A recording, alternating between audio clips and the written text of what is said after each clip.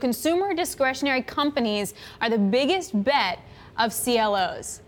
I was shocked when I heard that. Yeah, I mean, we've been talking a lot in the newsroom about, you know, it's, it's 2018 now think back to 10 years ago when a lot of this distress from the financial crisis, but really from the LBO boom, was starting to come into play. You're starting to see record leverage numbers. The, the number that jumped out at me uh, that is mentioned in the story is five point record ratio of 5.1 times. That's EBITDA to uh, debt, and and it's going up. I mean, that, that's what really jumped out at me as well. Yeah. The, the number of turns on this stuff at this point. Right. And if anything, and part because of deregulation, things like there's encouragement of more and more leverage. We're going in the opposite direction. And, and CLOs were somewhat insulated uh, during the crisis, too. So I just wonder, like, what kind of tranches do they have in it? Are investors yeah. aware of those kind of risks? And, and, they may be totally fine. I'm just curious as to know when you wind up having a retail apocalypse can potentially spread to this area too. Well, and I'm also never, you know, too far away from talking about private equity, as you know.